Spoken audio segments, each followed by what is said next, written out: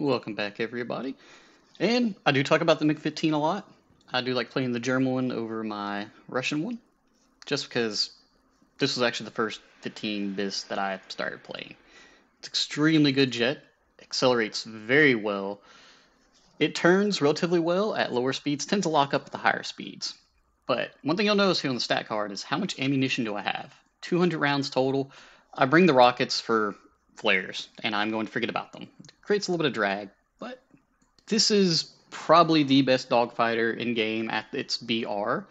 Granted, there are other things that are around this BR now that have missiles, may turn a little bit better, but generally don't have the acceleration that the MiG-15 does. MiG-15 bis is the same exact thing as the Russian MiG-15 bis. Cool thing about this one though is it gets the much better skin, which as of right now I do not have because it's like uh, four Gaijin. But look at that. Isn't that just amazing? But let's go ahead and take her out. Now, they added in more ordnance later on in the game, which, yeah, I just never unlocked those. So, but yeah, take it out. Figure I'm doing some 8-ish area jets, maybe something that people who are new to the game are still playing. I can watch and say, okay, I can see what this can do. Now, you see, previously with the Sea Vixen, where I was outrunning a MiG-15 bis, because I know about a thousand kilometers an hour is where they top out at, and they'll tend to break their wings if they go over that. The Sea Vixen can go up to like 1100 and has pretty decent acceleration, so I know it could get away from it. If I was in anything else and it was a competent MiG player, I'd be dead. Now, here's one thing you're going to have to learn about this jet. You're going to have to learn how to aim, and if you've been watching my other videos, which I normally take 20 minutes of fuel, if you watch my other minute or other videos, uh, I'm not very good with the guns. Now, there's a point in time to where I was doing the tapper. You would get behind a jet, you would tap your left click, and boom. And it will sink all of its rounds out relatively quickly. Wow, look, wasn't even hitting the uh, key to go when I was already going. Okay, so that is, I think 9.0 there. Those are 8.7s. Wow, okay, we're going to dump on the enemy team. We have two Sea Vixens. Uh, Lightning's 9.3? Okay, so there's going to be some scary stuff out there. We did bring some rocket pods, like I said, stuff that's been added in. Those will be our flares. Yeah. Lightnings. So those things are extremely fast compared to us. Yeah, so we're not at necessarily a great matchmaker right now. Everything else seems to be within reason. So there should be, what, three... Three things that are about 9.0-ish area. It doesn't seem like it, but I'm actually accelerating quite fast compared to the other jets out there. That's what 20 minutes of fuel. I probably could have taken 8. It's been a little while since I pulled this out. It's probably been over a year since I've taken this out thinking about it. But yeah, I mean, we are climbing up in speed quite well. I'll, next match, I'll probably take off the fuel. Yeah, it's going to make us a little bit heavy. I wasn't thinking. I was thinking it would burn a little bit quicker, like I said, but it's been forever since I played this thing. We don't necessarily want to climb high, but with MiGs, you can, and if you get behind people, works great. The only thing I'm really worried about is some head-on radar missile uh, shenanigans. There's an 8.3 Vautour that can do that. It is not fun. I can't remember if the Lightning... Lightning's tech tree, isn't it? Or is that the one, the premium that they brought out and took away and it had like 500 rockets built into it? Let's see here. I mean F6. I can't even remember. Like I said, I've got to get back to playing this. This is one of my favorite sabers. The first saber, the CL13s, back when they first came out. Just insane. Talk about broken flight models and stuff back in the day. When you're 600 kilometers, 700 kilometers faster than anything else in the game, yeah. So what do you want to do? Well, we want to get behind people and chase them down. That's what we're meant to do. These Saab 105s, Yes. Ooh, Su-7, that is 9.3. We don't have missiles, and I really don't feel like chasing him around. And they're actually quite maneuverable. Okay, we still got our air brakes. So this is what we're going to do. We're going to get behind this 105. And we're going to try to pepper him with some really nasty cannon rounds. And pray that nothing gets behind us and shoots a missile at us. There's Yak 38s. Yeah, I was kind of figuring that. Uh, these guys do have radar missiles. Uh, we're locking up because Yeah. Over 800, we will lock up relatively hard. But you can see as our speed is dropping, our nose is coming down a little bit quicker. I want to make some wide turns here. Somebody coming in behind us. We're going to turn. There we go. Retract. And we're going to accelerate back up to 800 relatively quickly. Sad slow down. I could probably swing back over there, but best thing to do right now is just go for another target. There's a 105. He does have missiles. We don't want to turn extremely hard, because we will bleed a lot of speed. We are MiG. There's the Yak-38. If you notice there, I did pop off some last second rockets to try to divert that missile. Can we get some front cannons on him? We do. So that was good. And I just barely shot a few rounds, smacked him, and boom. And that's one thing you're going to learn to love, is when these rounds hit, they hit hard. Uh, that was a missile. I'm glad I had turned earlier. That's a 104. We have no chance of ever catching that. Maybe if we got him slow and use our key acceleration to get behind him, but looks like we may have a chance.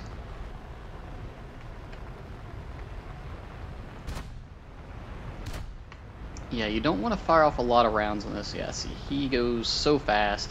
But if he keeps turning like this... Mm, yep, and there where he's going to use his massive engine to accelerate us. Once he hits that deck, we have no chance catching him.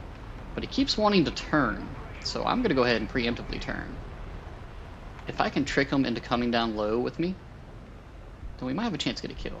So he's diving, but he's gaining a lot more speed, so we're not going to worry about that right now. Looks like he turned back over.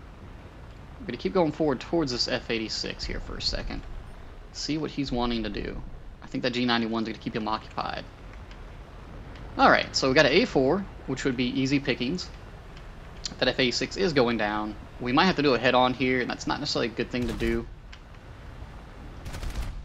Are we behind him? No, we're in front of him. And he got us. We did take the head on, but we got a kill. I'll fix the fuel so you can see its flight performance a bit better, because that was really holding me back. I'm usually pretty bad about bringing extra fuel, so there's that. But as you can tell, we weren't really struggling that much. We were actually doing quite well for the BR that this was facing against.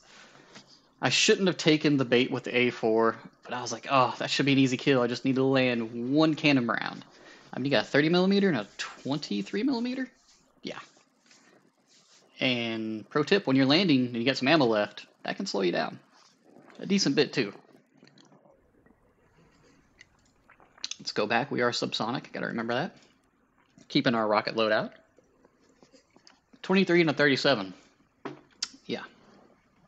I keep armor targets on there in case I want to go back hit ground targets back in the day. I mean, points is points, right? It's all about them points. I just love how it's got enough engine thrust to uh, go ahead and start pushing before it take off. We got up tiered. This is not a spot we want to be in. But, you gotta take it as it comes. I'm still surprised the 104As are at such a low BR. And Deffin's got a video on it if you guys want to go over there and watch him. Yeah, he's uh he's got a nasty video on it. So basically, you just take the cannon and you charge at people and force head-ons or try to get behind them and swoop. Because you're pretty much locked in just going forward very fast. And they're at a low enough BR, they really don't have to worry about radar missiles climbing up. Well, not good ones anyways. So, what are we doing in an up tier? Play to our strengths. We got some makeshift flares. We know our flight performance is quite good. And now we have the proper amount of fuel, our acceleration is really good. And now you're looking like, hey, those 104s just flew past you. Like, yeah, because they're like supposed to be like a 9.7. So yeah, don't worry about those. And the advantage you have is you can turn, they can't. And if you ever catch somebody in a turn fight, they are going to regret it. So, we're probably going to want to sort of stay low and see if we can trick people into coming down to play at our BR, or not BR, our level, so the way the game has it is the lower you are to the ground, the more dense the air is. Missiles move slower. Especially helps knowing that with earlier missiles. The higher up in the air you are, the less dense it is, and the easier the missiles are going to move around. And for the most part, easier you're going to be able to turn and whatnot, depending on what your engines function at. What's their optimal altitude. But yeah, it's a little bit of knowledge. Basically, the game adds more drag to you the lower you are, less the higher you are. Unless you have a engine that's like, hey, you know, less air, less power. And then you start flopping around. There's a few jets like that. What was it that I was playing that works like that? Ah, I can't remember. B-57 went ahead and tickled that base. Now he's heading back to either A, drop on the base again. He may not have all his bombs just drop up once, or his one load didn't take it out. So there's always that. I'm cruising around about our max speed, I think 1075. See our wings starting to shake, so we can't go much faster. We do have pylons on, they're going to slow us down just a little bit. There we go. He may be testing out his bomb loads, so there's that. We are fast enough to be in front of our whole team, which is a terrible thing. We'll make it work. We'll make it work. I'm actually uploading another video right now. Oh, that's a great screenshot right there. I'll take it. You know how they give you the, uh, they take three slides of the, the film, put in there. There's a G91. He cannot turn us. But if we get him into a turn fight, we can actually abuse him. You do get flaps, but like I said, flaps at this BR. What is this? Hey! MiG-15, buddy. I should have dropped air flaps earlier. And we're just to go straight and accelerate. Yep. A little bit higher than he is, so we're to start accelerating. As you can see, our makeshift rockets did help out there. He knows what I am, I know what he is, so we're kind of wanting to... Nope, nope, he goes down. Kind of hit each other. Sea Vixen's getting a little bit slow, but I think I can actually come up on that J-32B. Whew, I don't know what that is shooting at me.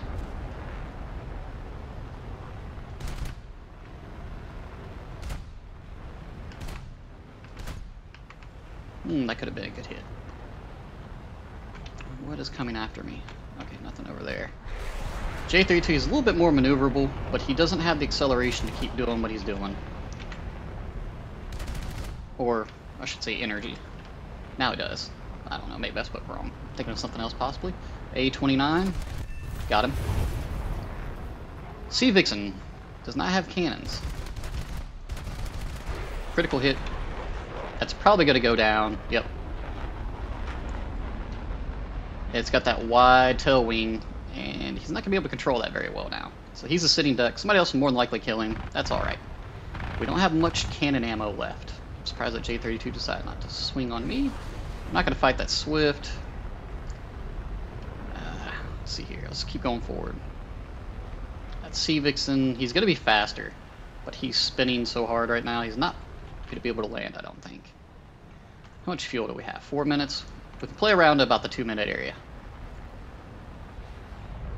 That G91's really trying to vulture that kill, which is alright if he gets it, as long as he goes down. Because that is a SEAL clubber. Why were you using missiles? So.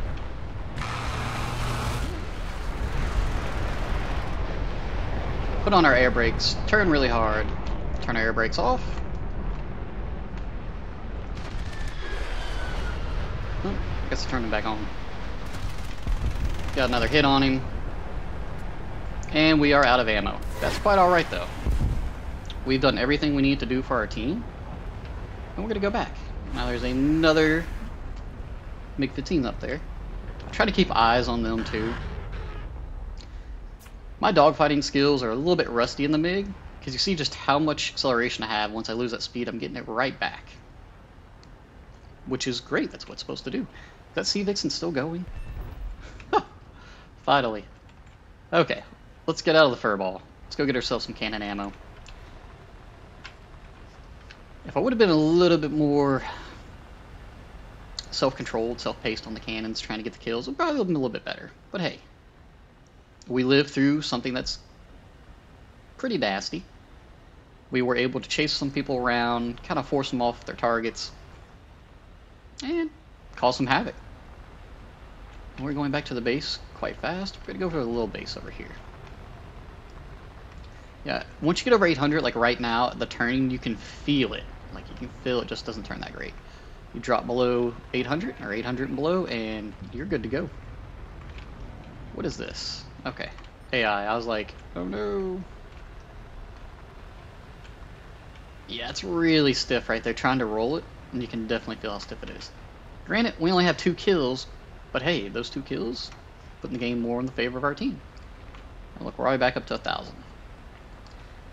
And this jet, like when uh, people are starting to say either grind the Russian tree, or just anything that really has them, the German tree and the Russian tree has them. And I think the Q5 and the Chinese tree, get this and learn its guns, and that's going to help you out for all the other MiG variants.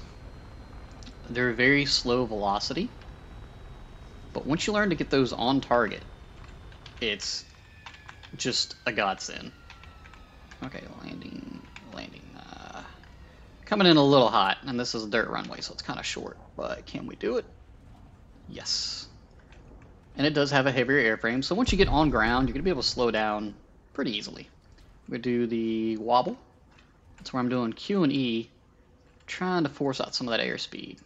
I did go ahead and hit I and turn off my engine, because that's what it's defaulted to. Uh, I may have to hit G and just drop the plane on its belly. The jet, I should say. Turn a little bit harder. So we want to be on the runway where we still repair. We are.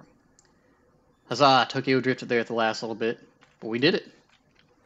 Alright, MiG-15 Bissish down there in the bottom right, that is the premium one. And it does perform better by a small amount. It's got four pylons, I think, instead of two, and it gets this weird rocket loadout on it. They're actually angled downwards instead of being pointed forward on the wings, they're pointed down, and it's kind of neat. I love how just having the engine on pushes your jet forward. Alright, so there's two MiG-15s out there, probably, and a Super Mystère B-2 bomber. Three, yep, and a J-32 the Swedish stuff around this tier, I'm not 100% confident in my knowledge with, because I they weren't here when I was playing this BR. And I've got to actually go back and actually play some of the Swedish stuff, so I'm just grinding through it. J32 is down. Alright. Let's go back. Something over here to the right. So that is a bomber. I think that Mystère, the Super B2, is faster than us. I want to say, or has at least a better top speed. Do we have a 163 on our team still? Somebody said 163, you alright? And I was like, I don't see 163. No, there he is. Why? Um, I'm blind. No, legit, do y'all see that? It's not on the friendly list. Like, I don't see them here, but there's a 163 out there being chased by MiG-15. So, that's a conundrum for the 163. The 163 can accelerate really quick and turn really fast without breaking its wings. It has extremely limited fuel. He basically needs to get that MiG-15 either into vertical or sustained turn fight. And that's about all he can really do. I can't remember if the B-2 has got radar missiles. We're about to find out. We're going to climb a little bit. I think this jet performs best up to 3,000 meters. So, uh, we're gonna nose up. Oh, that B2. We may actually get a hit on him. All we need is a single hit. Ah, kind of flipped around. Yeah, he's gonna accelerate me. We're gonna go toward climbing. Let's see if he wants to come down and play. Or if he's gonna stay up high. See, we gotta stay below that where he's wanting us to play.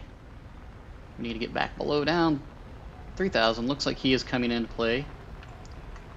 Gonna accelerate, turn, accelerate. Here he comes. We want him to overshoot and not hit us immediately like he's about to do. Use my other fingers to get my... He's on where we need to pull up accelerate. He's right behind us, so he's a bit more maneuverable than I thought, but we're down to where we can play. Air brakes on, drop a little bit.